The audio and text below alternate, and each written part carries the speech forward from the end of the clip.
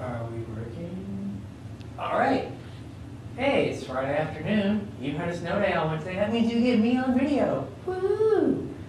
So, you remember The Simpsons, I'd open with, Hey, everybody, it's me, Dr. Wakefield. If you don't know Dr. Nick Riviera, we have problems.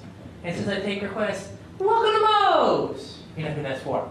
All right, so where we left off was learning how to name enantiomers. So we there's some rules we need to go through. I like to do this very systematically.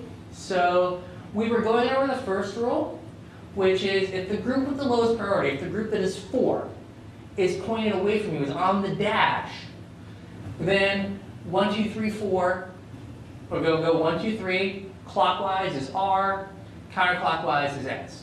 Right, so I got some examples loaded up here. I suggest liberal use of pause because, oops, because I've got a bunch of examples uh, loaded up, ready to go here, because that's how I roll.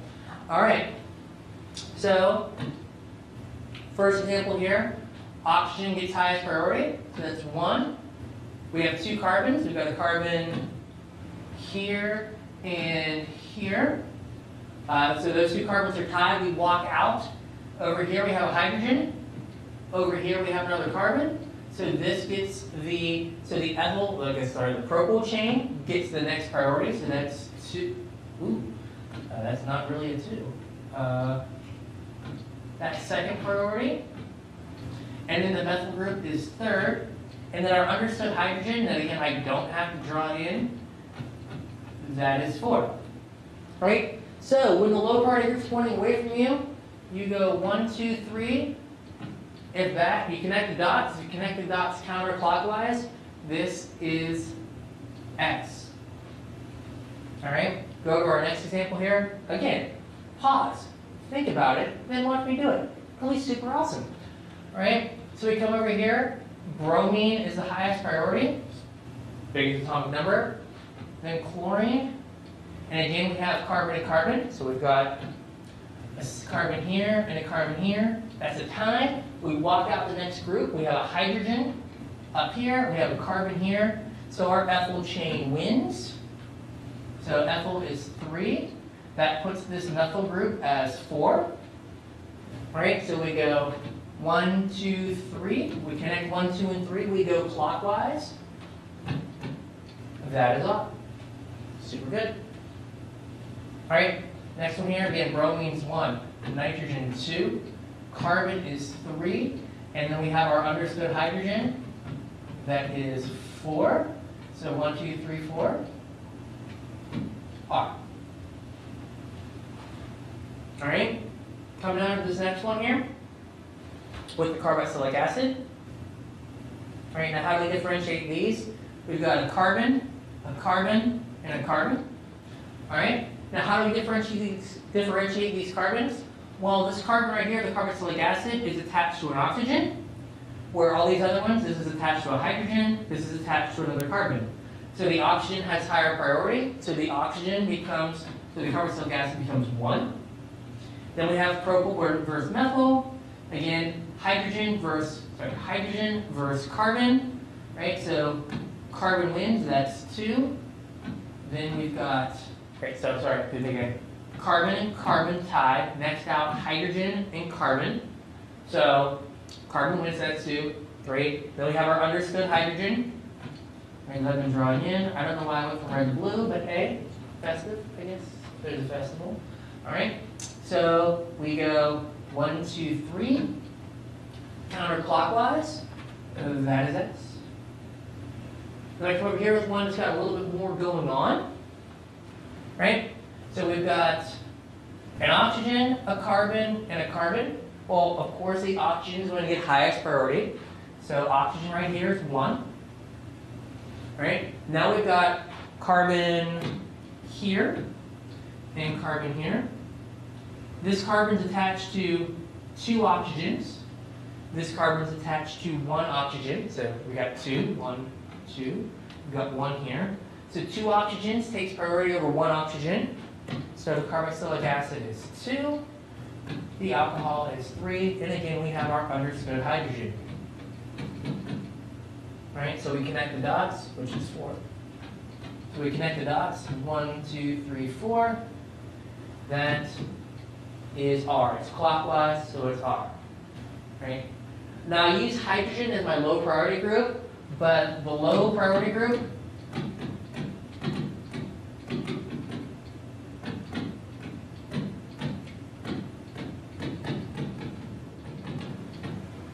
Priority group can be anything. Don't get hung up on the fact that it's typically hydrogen when I do examples. It can be methyl, it can be an alcohol if everything works out right. It doesn't really matter. The low priority group can be anything. You just go through your rules and assign the priorities.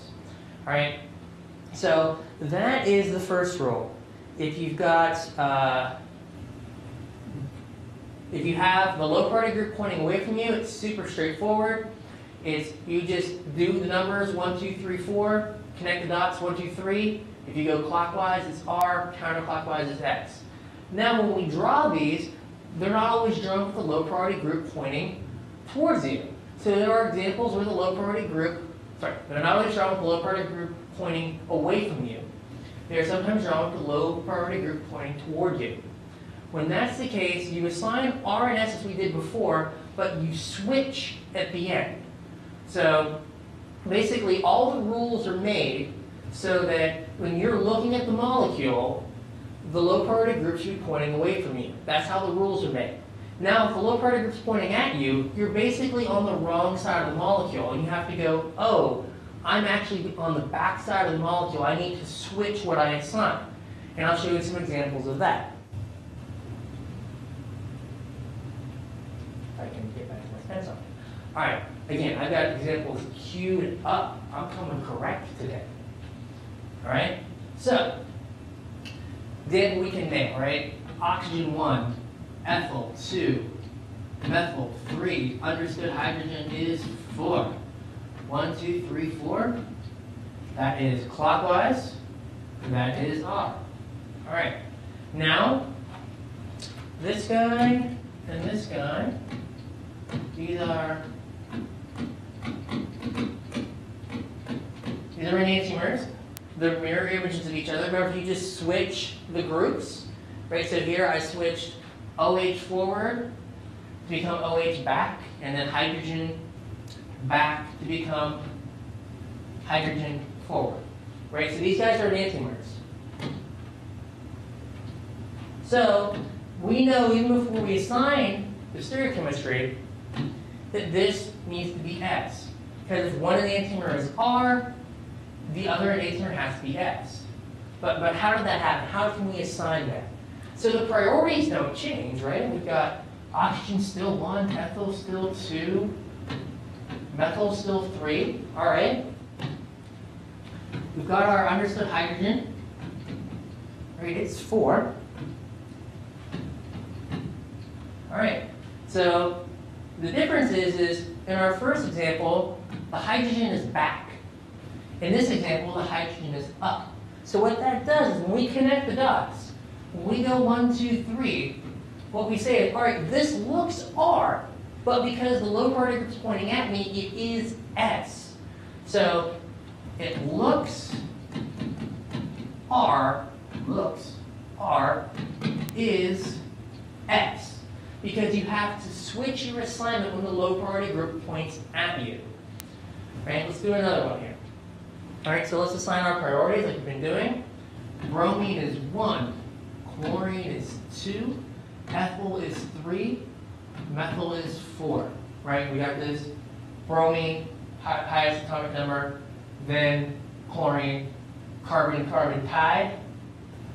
Hydrogen on my methyl group here. We've got an H put on here. We've got a carbon here, so hydrogen versus carbon, carbon wins, so the ethyl is three. Right, so again, my low priority group is pointing at me. So again, we assign one, two, three, right? This is clockwise. So it looks R, but because the low priority group is pointing at me, this group is pointing at me, it is S. So again, looks R is S. And before you ask, you don't have to write this on the, on the test. This is just a little mnemonic to try to help you. Right, so when the low priority group points out, you just think, oh, it looks one way, but it is the other. Right, we'll come over here. Next one down. All right, so again, priorities. Oxygen is one. Nitrogen is two. Two carbons again, but again, the methyl group ends on a hydrogen. This is bonded to the, the chain, the ring is bonded to another carbon. This is three. Methyl is four. All right. Okay, connect the dots, and apparently these all are. And again, it's clockwise, but the low priority group points at you. So it looks R, and this very center is S. All right, we got another one here. Uh, I'm going to switch this real quick, because, you know, I can do that. I'm a grown person, if you want. Gosh. Okay, so we're going to go bromine, again, one. Carbon bonded to one, two, three carbons. Carbon, carbon bonded to one. This carbon takes priority, so it's second. This is third. Right, and again, my hydrogen is pointing, my low priority group, in this case hydrogen, is pointing at me. So that makes four. So again, connect the dots. One, two, three. It's counterclockwise. It looks S, but since the low priority is pointing at me, it is R.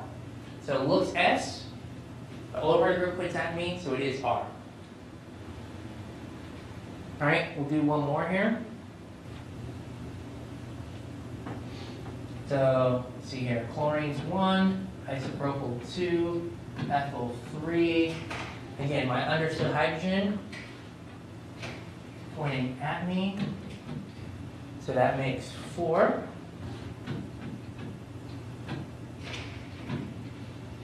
One, two, three. It's counterclockwise, it looks S, but it is R. Right. So when the low priority group's pointing at you, again, I keep turning to a bunch of chairs. Somebody suggested I get cardboard cutouts of you guys, which is just kind of creepy, like to take your pictures of like Spencer's and like, I need, I need cardboard cutouts. Just weird. It's like the first step of being a stalker. I don't want to go there. All right. Honestly, no. All right. So one, two, three. Looks R or looks S. It's counterclockwise is R. All right. So when the low of your points at you, you do everything exactly the same as you did for the first examples, but in the end, you switch what you've got. You go, all right, it looks like it's one thing, but since the low of your points at me, I know it's the other. All right, let's see here. So there's that rule.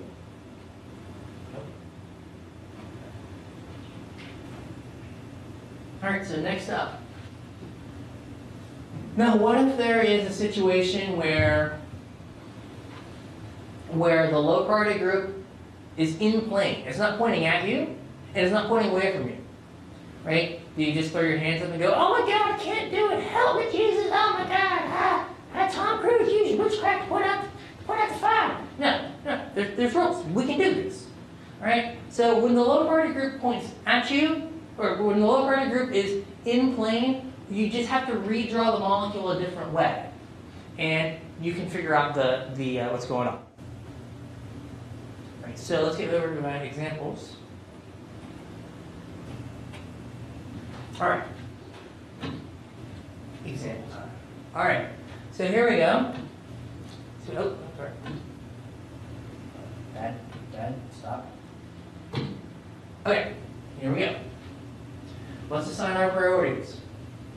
And bromine's one, chlorine's two, ethyl's three, methyl's four. All right, so our low priority group, our methyl, is in plane. How can we do this? What you do is you redraw the molecule and you switch your low priority group, preferably with the group that is back. So we're just going to redraw our molecule. All right, so I'm going to use blue here. I'm going to redraw our molecule. All right, so now here's our chlorine. Here's our methyl. Here's our bromine. So when we did this, we switched two groups. Switch the low priority group.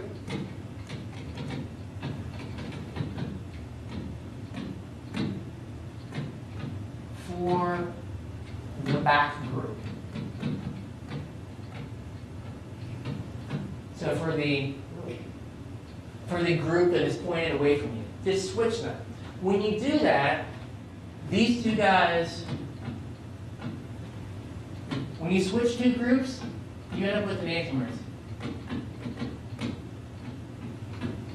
Right, so I've made the enantiomer. This compound here in blue is the enantiomer of the compound I started with.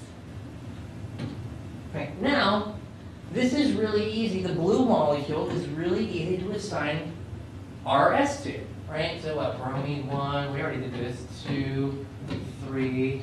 Now my low priority group is back. This is stupid easy, right?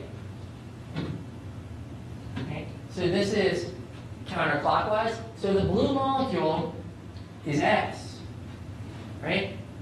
So the molecule you started with, the one you wanted to know the stereochemistry for, is the enantiomer of the blue molecule, which means the blue molecule is S, the starting molecule is R.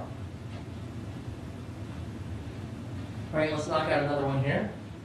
So again, we're going to assign priority. So highest priority is actually the fluorine. One. Then the oxygen two. Then the nitrogen's three. Right? Do I have that right? Yes, I do. And the carbon is four. Really reassuring that I have to ask myself. There's no periodic table in wall. Nothing. They don't even know what science is in wall. Right? So we're going to redraw it again. Oh, except for one guy. There's one guy in our class who comes here. He knows what science is. But the rest of them, clueless. All right. So, uh, we're going to redraw this. So you're going to want to switch your low priority group with whatever is back. All right. So we're going to have our fluorine, NH2, OH. That, that purple group got a little squishy there. All right, assign priorities. One, two, three, four. All right. In this case, this is R. I don't know why R's look get so like scripty in like kindergarten. Right, so this is R, which means the molecule that I started with is S. Because by switching the group, the low priority group with the group that was back, I've made the enantiomer of the molecule I started with. And I've just done that because, in this case, the blue molecule, easy. Black molecule, hard. Okay? You can do this without, you can do the hard molecules, the ones where the low priority group is in plane, without redrawing the structure. But you have to be really good at like kind of like mental Tetris and like turning the molecule in your head and getting the right perspective. It takes practice. My way is more systematic. You can just kind of, like, I can't say it's my way. The way I learned when I was doing this and the way I'm teaching you is more systematic and it's easier to, uh, to, to just see it. Wait, no, didn't do that. Sorry, I'm not bringing my A game today. All right, more example time. All right, again, we're going to assign priorities. One, two, that's a two, I swear.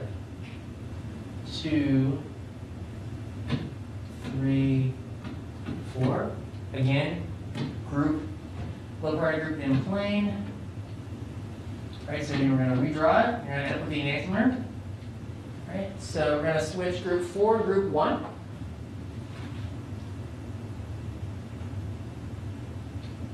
CL.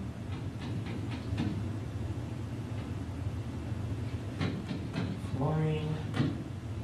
All right, so we're going to do one, two, three. three, and uh, four. One, two, three, four. Right? So that is S. Which means over here, this must be R, because they're enantiomers of each other. Again, don't forget, I'm going to go kind of quick doing the examples. You can pause, be the master of your own universe. Right? So, again, priority, iodide is one, oxygen is two, three, and four. All right. Now, if you try to redraw this ring, it's, it's gonna be a mess, right? It's gonna be hard to draw it back. It's gonna kind of look funny. I mean, you can do it. So let's uh, let's go through and do that real quick, redrawing it, and I'll show you a trick. All right, so we can redraw this. Right, so keep the LH up.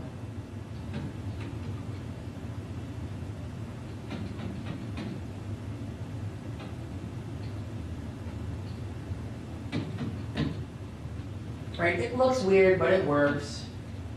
Right, so we're gonna have one, two, I got one group. Okay, two, three, that makes four.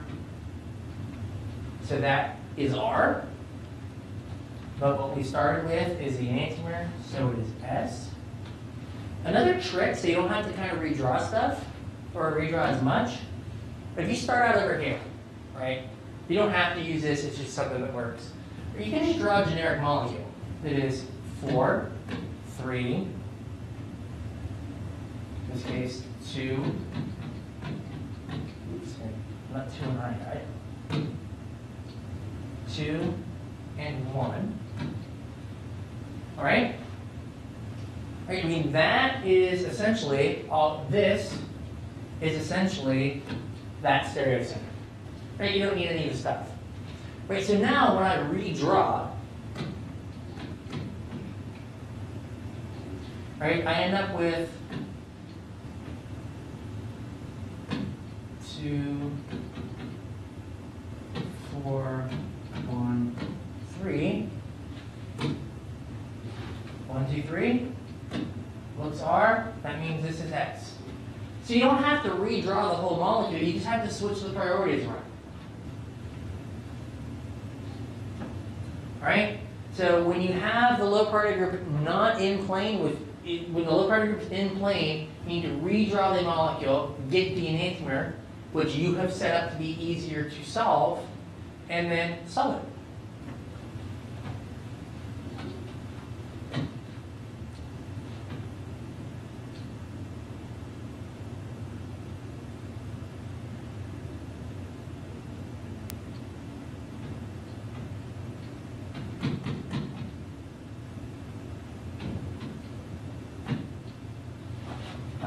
So I'm going to write these up here.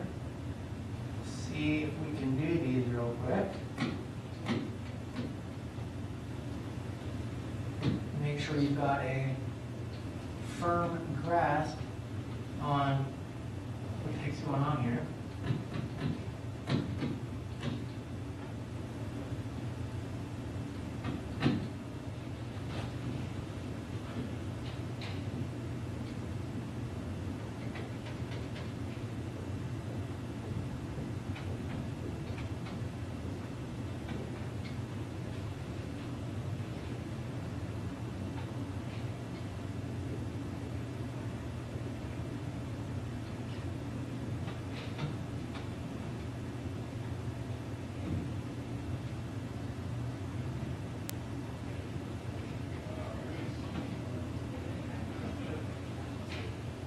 All right, so let's start at the start here.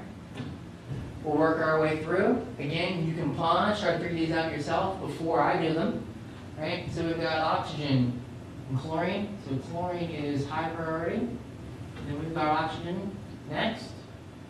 Carbon bonded to one carbon, carbon bonded to two, carbon bonded to two carbons wins, and then four. All right. Low priority group is in the plane. So we have to redraw, right? Do I have to use the rule we just, we just went over? So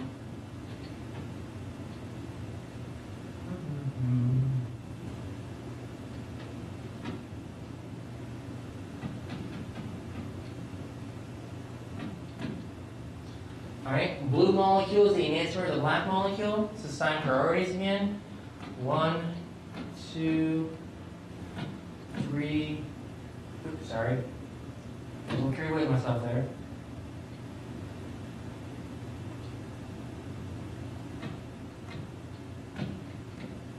Right, connect the dots. Counterclockwise, this guy is S. So the one we started with is R. Next one's pretty straightforward. Our, our low priority group is away. So we just go one, two, three. That makes four. Connect one, two, and three. Connect the dots. R. Next guy here, see here, we got one, two, three, four. Right, same deal. Low priority group in plane, need to redraw. Right, so we end up with BR, chlorine up. There we go. One, two, three, you make four. Alright, again, this guy looks R, it is R, this one is S, because they're enantiomers. Come down here, bromine's one, carbon and carbon were tied, walk out one group, carbon and chlorine, chlorine takes priority over carbon, so then this whole chain becomes two, this chain is three, and our understood hydrogen, our low priority group, pointing at us is four. So we go one, two, three, looks S, but since the low priority group is pointing at us, it is R. Again, another straightforward one here. Okay, we've got one, two, three, low priority group away.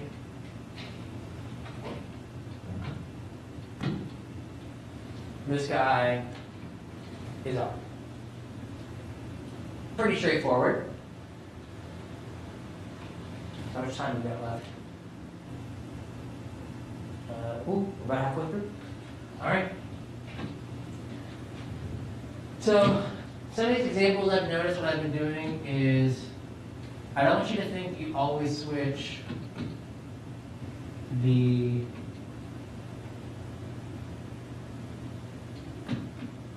the low priority group with the high priority group. Right, so again, when you have your priorities, one, two, three, and four, right, have to switch. It's not necessarily, you don't switch with the first priority group, you switch with whatever's back. So when you, you get your redraw on, right, redraw, we're gonna have, what's back, chlorine was back, methyl group's back now, bromine, assign our priorities, one, two, three, methyl is four. Counterclockwise, this one is S, the one that we wanted to know is R. Alright. So we should be able to do any kind of example that I give you using one of these three sets of rules. Right, so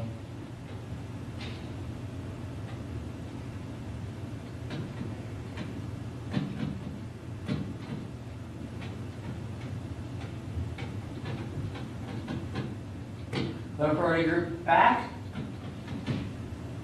just exactly as it is. One, two, three. Assign priority, one, two, three, four. Connect the dots. Exactly how, how it looks. R. Low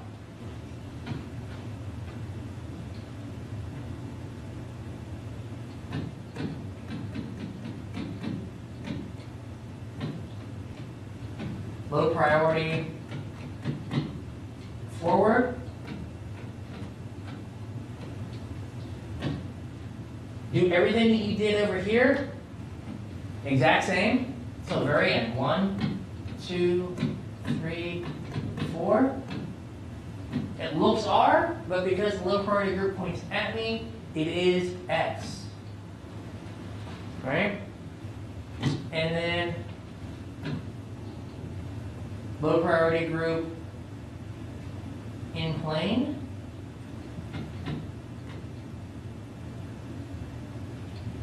Oops. Very, very good thing there. Low priority group in plane.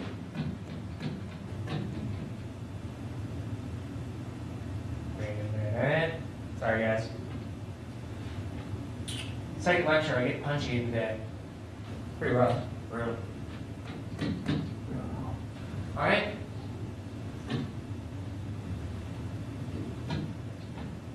One, two, three, four. Low priority group in plane, so low priority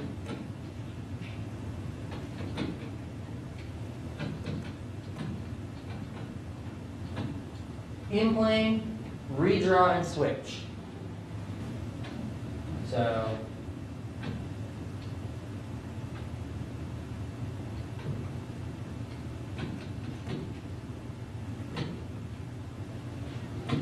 So switch the low priority group and whatever is back. So one, two, three. Gosh. Sorry guys, I can't count. That's four. Apparently I can count, but I can't assign priority. Again, let's take a lecture of the day, guys. It's, it's brutal. All right, two, three. There we go. This looks, this is R. But now we go back over what we started with. This, is R. What we started with is S. So you draw the enantiomer, what you started with, assign that because it's easy, and then go back to what you started with, and you know you have the opposite because they're enantiomers. All right.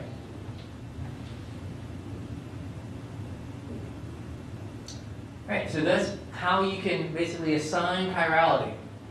Right? So, a little aside here, uh, why do you care? Is I think the best reason that you care is uh, thalidomide. So thalidomide in the late 50s, early 60s was an effective treatment, uh, an effective treatment for morning sickness. So thalidomide is a racemic compound. It's a one-to-one mixture of R and S enantiomers. Right? So racemic means a one-to-one mixture of enantiomers. We'll talk about that here in a little bit. Right? So you've got S thalidomide and R thalidomide. Right? And then in the body they become racemic. They become a one-to-one mixture. Well, all right, so thalidomide is a drug, super cool, right? This compound was found to cause horrible birth defects in uh, thousands, if not hundreds of thousands of European children. So, why? Well, the S enantiomer, the one where the nitrogen group is back, fits into the major groove of DNA, and that then inhibits the growth, inhibits the expression of growth factors, which cause uh, the development of limb buds in fetuses. So basically, what would happen is, is that this compound would go bind to the DNA of the developing fetus, and then make it so it would not grow arms, or grow very short, uh, I wouldn't say useless, but not very functional arms, right? The R enantiomer is sleep-inducing and prevents or limits morning sickness, right? So, enantiomers have the same physical properties, right? They have the same melting point, the same boiling point, uh, the same polarity, but they interact differently with chiral things. So, um, so basically, think of your think of your hands. Your hands are chiral. I don't know if you can see me down in your little corner or not. Here are your hands. They are non-superimposable mirror images of each other. Right? They cannot be, if you had a mirror plane beside your left hand, you get your right hand. Right? But they can't overlap. You can't slide on top of each other. Right? Which is no big deal, except for when you go to put on gloves. Right? Chiral things are different when they interact with other chiral things, right? Your hands are probably the same color, right? If you were to cut them off, they weigh the same. They can do all the same stuff. Hmm, if you're right-handed, your right hand's a little bit better at that stuff than your left, but you can do all the same stuff, right? But if you go to put on a left-handed glove on your right hand, it doesn't work. It doesn't fit right because the gloves are chiral, right? There's one, there's a match, right? So these compounds, though they're the same, when they interact with DNA, which is chiral, the S enantiomer binds to DNA and the R enantiomer doesn't, right? Now the problem is, it's like you're saying, well, why not just make the R enantiomer? And just give that, just have the R enantiomer, right? The problem is, is that under physiological pH, the S enantiomer and the R enantiomer interconvert. So there is, uh, so if you give only the R enantiomer, it becomes the S enantiomer in the body and goes and does bad things. Some random person just tried to come in here and they heard me talking science and they ran. They're like, oh my god, oh my god, help! Right? So they ran away. So just ignore that person. Right? I would have talked to them if they came in. Whatever. Right? So, so being able, different enantiomers have different properties. And that affects how our body uses those compounds and how, uh, how drugs are made. So now when you make a drug, you have to make only one enantiomer or the other, prove that they can interconvert, and show that that enantiomer is not toxic. If you make a racemic mixture, if you make a mixture of compounds, you have to show that each enantiomer is either, each enantiomer is harmless. So if the S enantiomer of your compound that you want to make as a drug uh, cures cancer, you have to show that the R enantiomer either does absolutely nothing or is non-toxic or, or has the same activity. So it either has to be totally non-toxic and benign and do nothing or have the same activity. You can't have a mixture of compounds going in doing two crazy different things. Right? So you can't, you know, stop morning sickness and cause birth defects. So here are some of the pictures of some of the, uh, the children. Now let's see if I can move my picture here. Uh, go ahead. Oops. Don't want to do that. Sorry. Working on this here. Right, so you can see kids here at the pool, they have very short arms. Right, so they all have, and this is all a result of S thalidomide. So you see one child has, one brother has arms, one doesn't, and again, it's just the, the thalidomide. Right, so, oops. I went through all this stuff with naming, I went on this little like tangent here, but I didn't actually get to naming. Right, so let me go back for a second.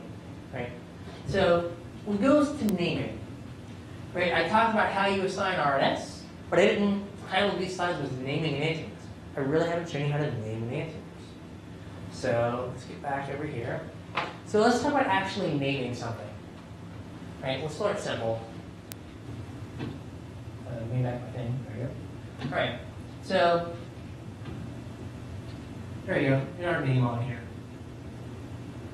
All right, so the example I used earlier in class today, Friday, or we've done it before, is if you were to name this without worrying about stereochemistry, this would be 2 butanol. Right, four carbons, butane is an alcohol, OL, all alcohol is carbon 2. Right? Now, to denote the stereochemistry, all you have to do is assign a priority, figure out the stereocenter, one, two, three, back hydrogen is four. Right, there's a great zero hydrogen, one, two, three, four. So this is R, so all you have to do is in front of the name, say that it is R to butanol. Right, so you name it just like you would name anything else. And then you just have to put, if it's RS, at the beginning of the name. So again, we're going to name this 1, 2, 3, 4, 5, 6, hexane. Right? Hexane has a bromine on it, so it's bromo. Saw this on the test, it's not YL. For halide, you take off the IDE for like bromide, and you put an O, so it's bromohexane. Where's the bromine at? It's at carbon three, so if I number it this way, one, two, three, four, five, six, bromohexane, and then you have to figure out, you have to assign priority. So bromine's one, carbon and carbon tied, carbon and carbon tied, carbon and hydrogen out here, carbon wins, two, three, and Jabberwocky.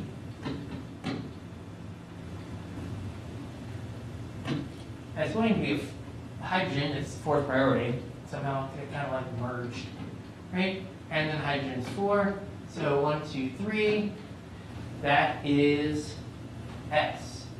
So it is S, usually put it in brackets or parentheses, S, three bromohexane.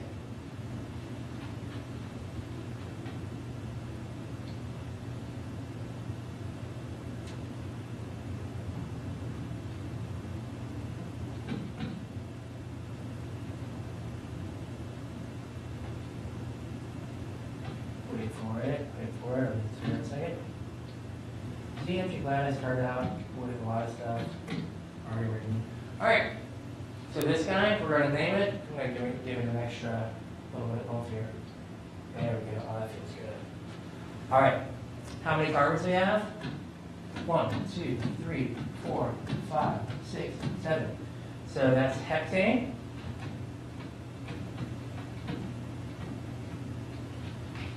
What's hanging off the heptane? We've got a chloro, a fluoro, and a methyl. These fit. Methyl. All right.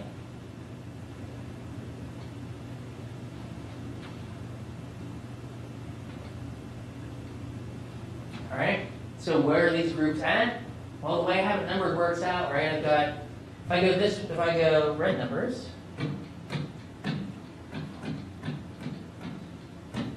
I get three. If I go blue numbers, I get three. But you want to always go, whatever comes alphabetically first should get the lowest number. So in this case, the chloro. So it's three chloro. I went right there. Three chloro, three fluoro, five methyl, right? And now you have to say what the what the chirality is at the chiral carbon. These guys. All right. So again, we assign our priorities. Chlorine is one, fluorine is two. This long chain is three, ethyl is four. All right. Low priority group is uh, in the plane. So yeah, I'm going to use my, uh, we'll redraw it. All right, so.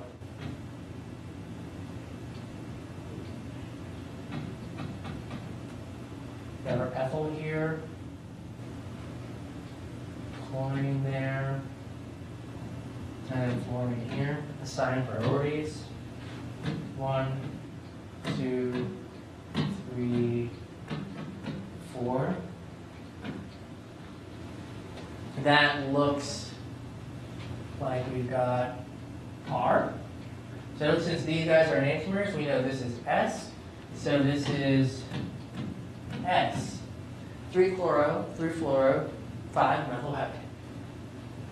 Right? So when you name it, you assign the priorities, you figure out what the chiral center is, as I'm talking to the camera and not people, and then you uh, figure out what the chiral, chirality is, RS, and then you just have to put that out front. Done and done.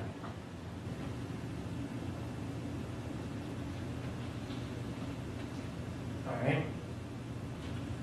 So why do you care as biology majors? All right. So this is what I was talking about with the thalidomide example, where you know your gloves in your hands, right? Chiral thing, enantiomers have the same physical properties unless they're interacting with other chiral things. So So in a lab, the chiral thing that we use is what's called plane polarized light. Right? So light can be chiral. Light can have a handedness. Alright? So, me my next slide is here. Ah. Alright. So, so you take um, you take uh,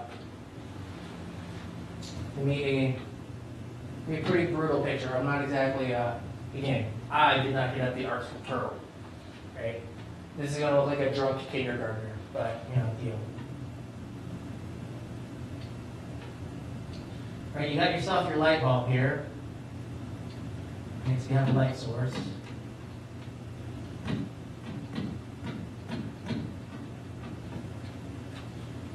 And you get light coming off. Right, electromagnetic energy, HV light. Right? And that light, if we were to look, if it were to be pointed right at us, right, you would see basically light on all these, on every plane, a wave on every plane coming at you. Right? So what we do is we put a polarimeter, or uh, a, a, a, a, filter that polarizes the light. And what it does is it's set up so that the light that comes out is now what's called plane polarized. Polarized light. Alright? So, now what this means is all this light that was on other waves, so all the light that was on this on these planes didn't make it through. So now if we were to look right at this plane of light, right at this wave of light we have coming at us, we've got one, we've got waves on one plane. Right? So this light is plane polarized.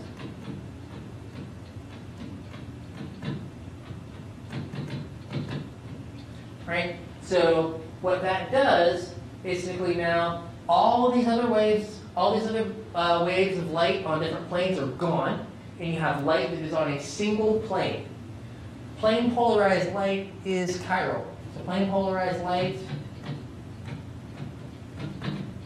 is chiral in that when it reacts with a solution of chiral molecules, it treats those different chiral molecules differently. So, so we've got our plane polarized light. Oops. Right? Effectively, we made the light chiral. Now we've got some, now when it passes through a solution of chiral molecules, the plane polarized light is going to be rotated. Right, so back to my awesome drawing here. We're going to have a solution.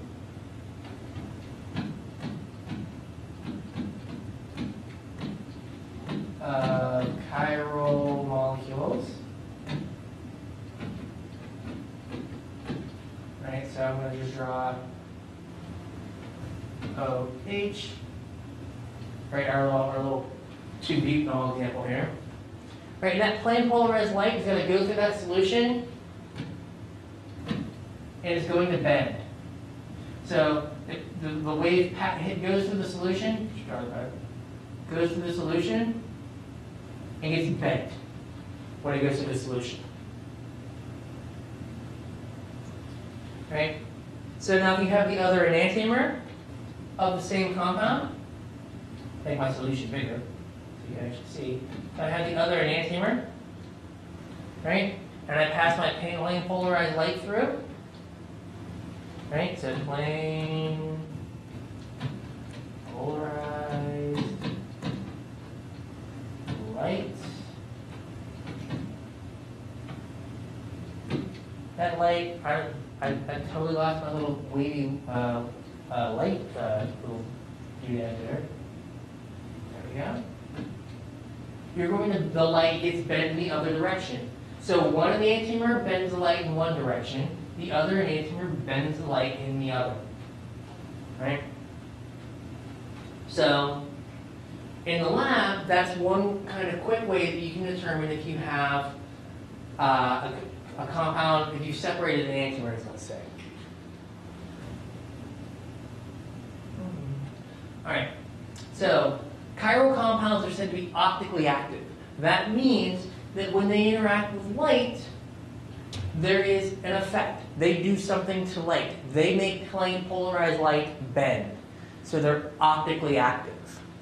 Right? Achiral compounds, compounds that don't have a stereocenter or are just not chiral, they don't rotate plane polarized light.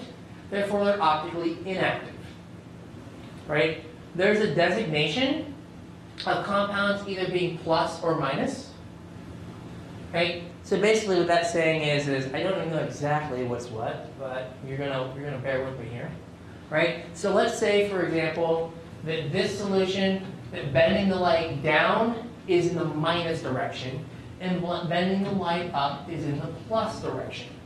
Right? So basically, in front of names, sometimes you'll see plus or minus. That just tells you what direction they bend plane polarized light.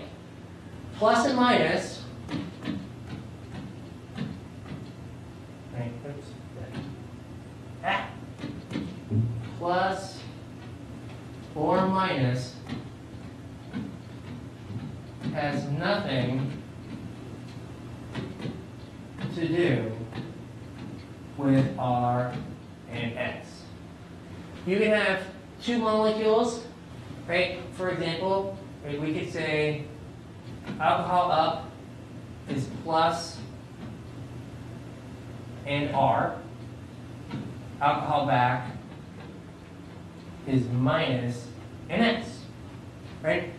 We could go then alcohol, sorry, bromine up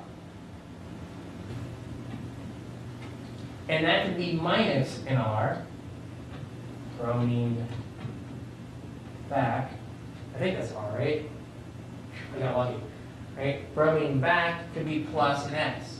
So plus minus tells you zero, absolutely nothing about R and S. It is just reporting the phenomenon of the light being bent.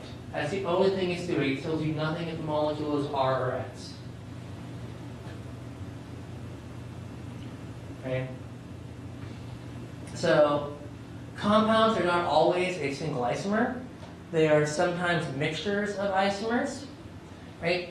A mixtures, one-to-one mixtures of enantiomers are called racemic mixtures or racemics. So, um, all right.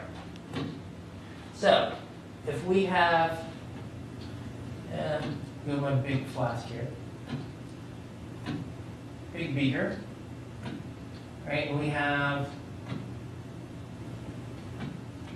alcohol, alcohol,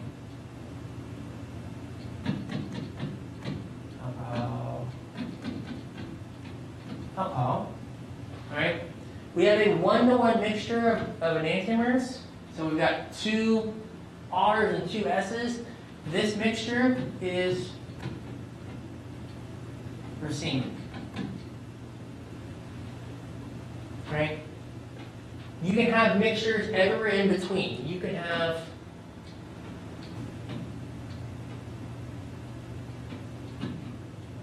pure mixtures, or pure solutions, or pure compounds, okay, where you have all of one of the enantiomer or all of another. Right, so these are enantiomer, these are called enantiomerically pure.